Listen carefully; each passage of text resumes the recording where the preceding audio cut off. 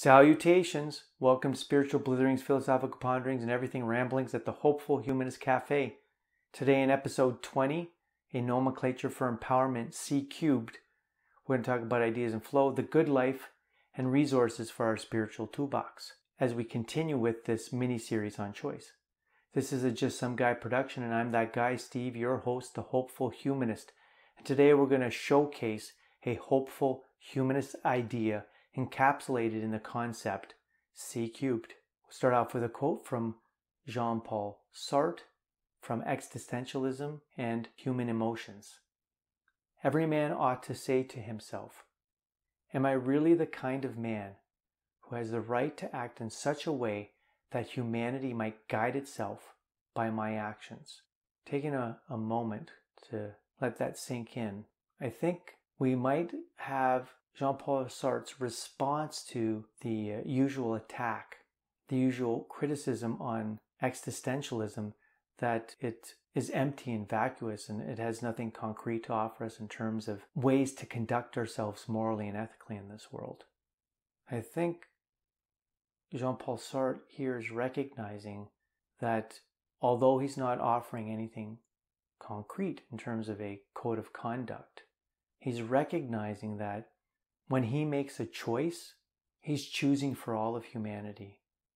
That if he is saying yes to something for himself, that it's got to be understood that others might say yes to that too, and that if the thing that he does infringes upon the freedom of others, then others would be at liberty to make similar choices and infringe upon his freedom. So there's a perhaps a subtle reference to the golden rule do unto others as you'd have them do unto yourself. When we think about this idea of the freedom to do whatever you want, it almost seems like it's it's this license to actualize any and all of one's desires, which could lead to a very despairing world if, if everyone was doing things without giving pause or thought for others. And, and I think that explains why Jean Paul Sartre talks about nausea, existential angst, and, and this idea of being condemned to be free because there's a real heaviness, there's a responsibility that bears down upon us, and that we, we do need to take a moment to pause and to reflect. So we'll come back to that as we explore C cubed. A second quote, though, that I think could be helpful and soften the heaviness of the reality that we are co authors in our lives as we recognize and acknowledge and have to accept that we're living in an absurd world. This quote comes to us from Led Zeppelin Stairway to Heaven. There are two paths you can go by, but in the long run, there's still time to change the road you're on. This is this is reassuring. If it's the case that we make a decision and all decisions are final, the angst that Jean-Paul Sartre talks about would make so much sense. And it's an angst that exists, and I feel that during my discussions with most people, there's something relatable to it in terms of the ongoing crisis of the human lived experience. But it's it's reassuring to know though that we could retrace our steps and make our way back to an initial crossroad point and eventually take a different path that's more aligned and congruent with who we are. So we have our two quotes. We're equipped with our two quotes. To proceed, before we get to uh, C cubed, I'd like to note that uh, just by uh, just a quick, a quick revisitation of some of the ideas in the uh, previous podcast, episode 19, a phenomenon called choice and its phenomena, that we, we talked about life being a process of choice, introduced this idea introduced to us by Abraham H. Maslow, the idea of at some point recognizing and waking up to the fact that we are decision makers, that we are choosers, that we can impact the unfolding destiny of our lives by choosing this as opposed to that. And, and I refer to that as the dawning of agency, and, and I invited listeners to perhaps make a, a choice history diagram to kind of really bring that to life. So, with that in place, and knowing that our, our starting point for this discussion is to embrace the position of William James that my first act of free will is to, to believe in it, it would seem that we might do this happily. We might do this joyfully. But on page 28 of The Sources of Power by Gary Klein, uh, he, he notes this observation, this, this thought that was shared by two researchers, Janis and Mann, in 1977. And they shared this, this idea, this early research suggests that people actually avoid making decisions. And the reason that they avoid making decisions is because of the stress that they experience in terms of carrying out an analysis of choice. The traditional model for the decision making process is referred to as a rational choice model. And there's any number of examples of different templates that people offer with uh, slight variations and differences. But uh, Janis and Mann in the Sources of Power identify a couple of things that are, probably pretty common to a whole bunch of different methods that people use in terms of making choices.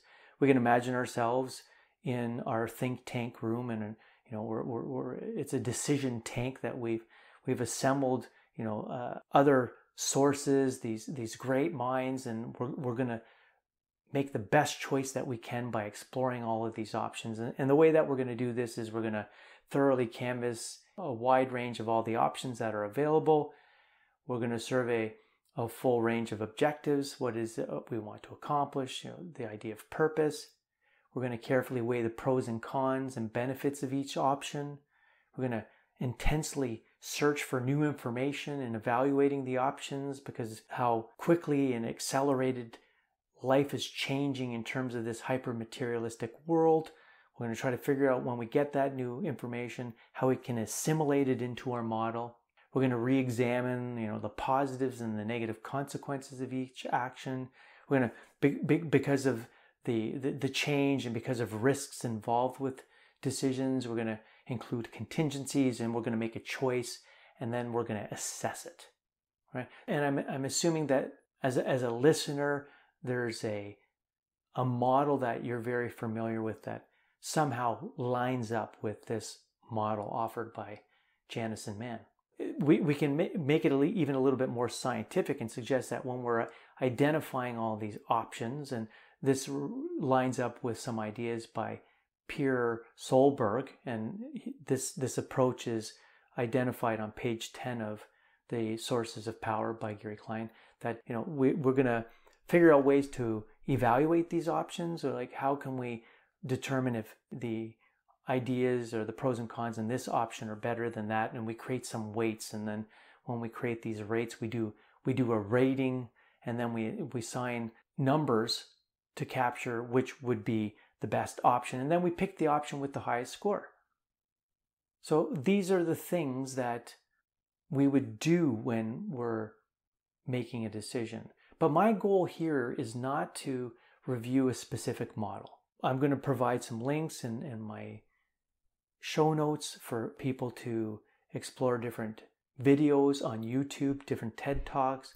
I've got some uh, choice model formats that are also available. I'll put in the links. But I want to do something a little bit different and, and just kind of focus on and flesh out what it is that I'm trying to get at in terms of this, this idea of C cubed. So C cubed is kind of a, a formula or a nomenclature of things that we need to be mindful of when we're making decisions. So the, the three C's are circumstance, choice, and consequence. And I, I think that whether or not we go through a formalized checklist of things to do when we're making decisions and problem solve, that these three areas of the decision making experience in and of themselves are really important to think about, reflect on, and consider when we're making choices because it allows us to empower ourselves and recognize that there's more going on when we're making decisions instead of this mechanical process. It's uh, it, it goes deeper than that. So in terms of C cubed, I guess there's a little bit of a story I, I, I could tell, and that will kind of shed light on what this C cubed concept is. So the first idea is that we're, we're talking here in terms of C cubed about an empowerment mindset, right? That there could be a point in one's life when we're experiencing a problem, a dilemma, a situation, an issue, or a challenge. And that in terms of C cubed, an empowerment mindset would be inviting a person to redefine or reframe what's going on as a point of decision. And this relates to that dawning of agency. So, in terms of the, the three C's, the first C is circumstance. If, if we look at it on an ontological level, which is pretty heavy, this is the idea that uh, we are we're thrust into the world. There was no choice involved in me deciding to be born and brought into this world. But but that's our circumstance. That's that's our situation. And in, in terms of this this circumstance, uh, you know, we can move away from a ontological level and we can look at a more practical, concrete level and say, well, you know, here I am, this particular specific being, and I have I'm, I'm situated in this context of living with this specific family in this specific city in this specific part of the world at this specific point in time in history. And we have a particular culture and we have certain rituals. And there are certain things that we collectively believe to be true. And my circumstance is such that I might be a particular height and of a particular gender. And that when we're thinking about the circumstance, what we're really doing is we're giving ourselves some realistic perspective about the limits that exist in terms of defining what we're capable of doing. The circumstance is, is it's like it's it's our canvas on which we're painting the portrait of our being and it's the field of influence that impacts us in terms of all those things that uh, are involved in discussions about nature and nurture. So that, that's our starting point. We, we exist in a context.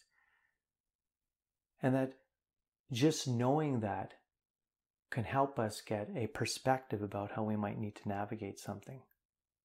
Once we recognize the essential aspects of our circumstance, then when the problem presents itself or there's a situation, we are able to redefine that as that point of decision, that moment of choice.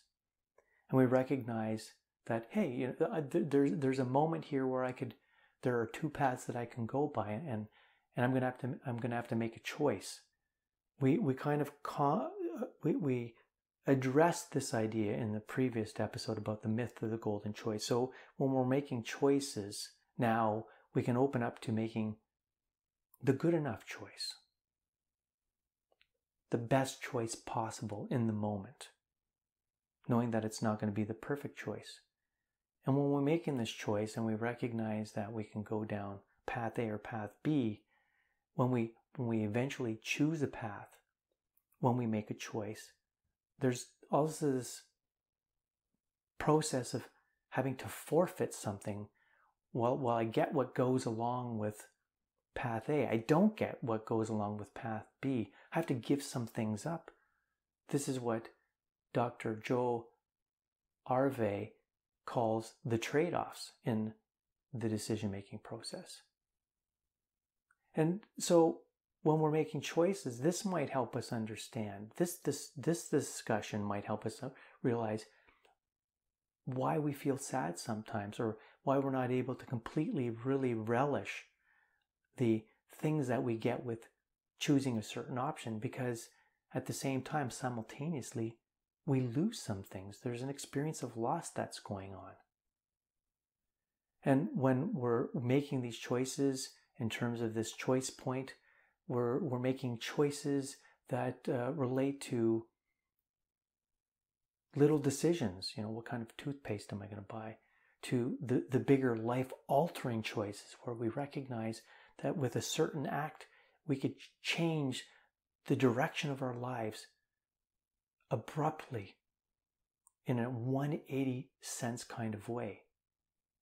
Right? Which brings us back to the bigness that Sartre was talking about in terms of recognizing that when we choose, we're choosing not only for ourselves, but we're, we're choosing for all of humankind.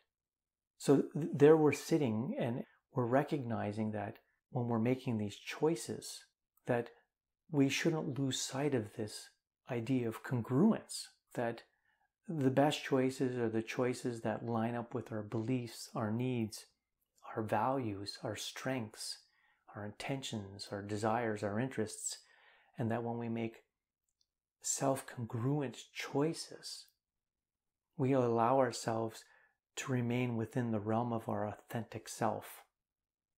And that then allows us to stand in our power. Once we make a choice, and you know, at, at this point, in terms of the, the choice point, people would refer to whatever method of decision making template or format works for them the best. But then we move into the last C domain, which is consequences.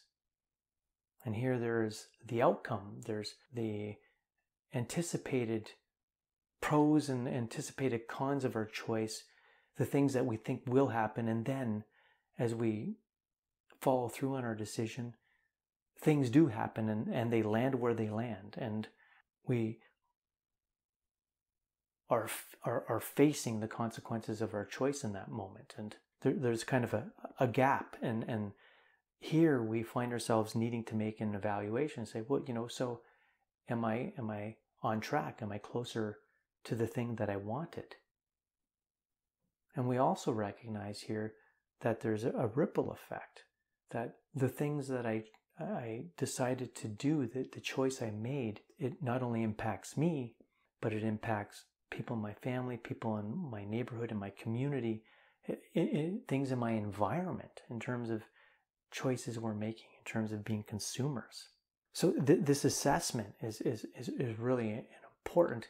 And here we arrive, we arrive at the point of recognizing the revelatory nature of choice. And, I, and I'd like to refer back once again to Dr. Joel Arvai, who says that you know the choices we make when when we recognize what they reveal about us, they then these choices reveal the things that we value, and they're projected out into this world for others to see. And these decisions that we make ultimately define who we are. That is the C cubed model. Circumstance, choice, consequence. And in terms of making the healthiest choices possible, we don't want to lose out or, or forget the importance of congruence, things lining up. So I hope that uh, I've, I've given you some food for thought. I hope, if anything, maybe there, there's also a, little bit of inspiration in terms of creating your own story for the uh, process of choice. We've got a lot of different ideas from the dawning of agency to the forfeiture of choice to the importance of congruence of our actions with beliefs, needs, values, and strengths and intentions and desires. And a thesis that is being presented by Dr. Joe Arvai that ultimately our decisions define us and they project out the values that we hold for the rest of the world to see. This is some stuff that I think is worth thinking about. I'm going to include a whole bunch of different resources for you to check out in the uh, show notes. I hope you enjoyed this discussion. This, specifically, this uh, hopeful humanist showcase moment of a nomenclature for empowerment, C cubed. Thank you for joining me at the Hopeful Humanist Cafe for another tip of the iceberg conversation. It's a pleasure. Until our next meeting of minds, peace, take care, and as I shared in the last episode, may the choices you make be the wisest ones possible in the moments that you meet. Peace.